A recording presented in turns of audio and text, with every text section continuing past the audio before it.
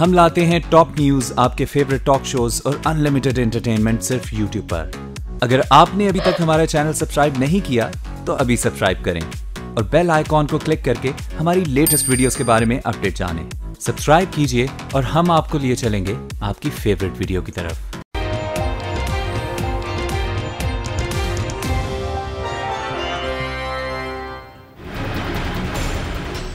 मैंने अपनी बहन को कत्ल किया है। दुश्मन मन गए जाने दुश्मन दुश्मन मेरी बहन मेरी। कराची पुलिस ने अलीना कातिल केस का मुआमा हल कर लिया। अलीना की कातिल सगी बहन अलवीना निकली। अपने मंगेतर के साथ मिलकर अलीना को कत्ल किया और वारदात को डकैती का रंग दे दिया। एसएसपी नमान सिद्दीकी की प्रेस कॉन्फ्रेंस।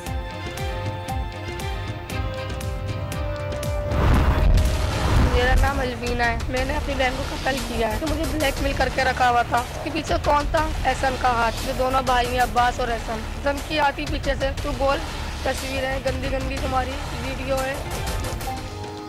अलीना अपने दोस्तों एहसन और अब्बास से मिलकर ब्लैकमेल करती थी। कई बार रेप किया गया। वीडियोस भी बनाई गई। वालदेन को कुछ नहीं बता सकती थी। मुलजिमा अलवीना का एतराफ है जुर्म मुबैना ब्लैकमेलिंग अलीना के कत्ल का सबब बनी। केस में शरीक मुलजमान ने मीडिया के सामने कहानी बयान कर दी। अलवीना के मंगेतर मजहर के मुताबिक अलीना, अब्बास और हसन अलवीना को ब्लैकमेल करते थे। यही बात कत्ल की वजह बनी। उसने बोला, या तो मैं खुद मर जाऊँगी या इसको मार दूँगी। उससे नहीं हो रहा था। फिर उसने मुझसे बोला, ये कुछ करना है इसका। फिर उसके साथ मिलकर ये काम कर था हमने।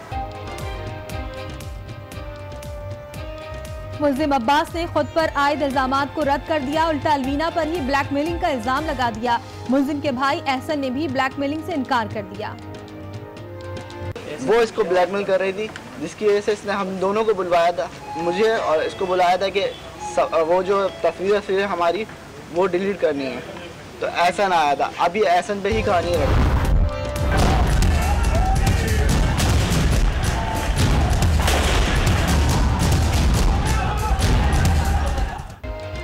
सान है मॉडल टाउन पर पैरमा तर्ज की जेआईटी बनाई जाए।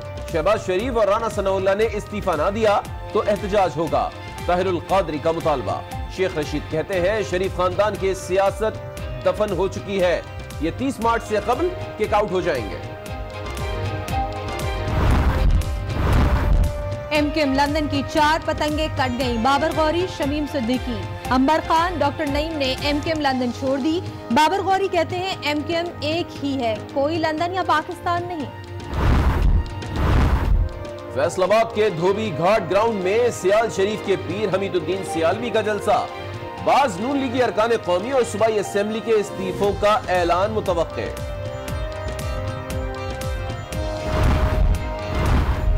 छुट्टी के दिन तहरीक इंसाफ ने शेखुपुरा में मैदान लगा लिया। इमरान खान फिर हरीफों को ललकारेंगे।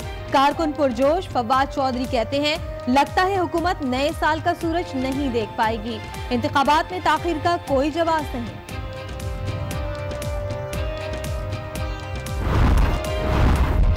फाटा इस्लाहत में ताखीर के खिलाफ जमात इस्लामी का जमरूता इस्लामाबाद लॉन्ग मार्च। काफिला रवादवा कश्मीरियों और फलस्तीनियों को आज़ादी का हक क्यों नहीं दिया जा रहा? अकवाम आलम से हुरियत रहनुमा यासिन मलिक की अहलिया मशाल मलिक का इंसानी हकूक के आलम दिन पर सवाल, कहा, आज अपने हुकूक के लिए खड़ा होने का दिन है।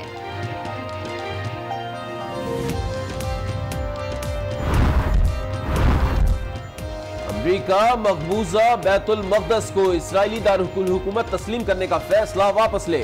कायरा में अरब लीग के वजरा खारजा का मुतालबा। अमरीकी फैसले की कानूनी हैसियत नहीं। इससे खत्े में तशद बढ़ेगा मुश्तर एलामिया जारी।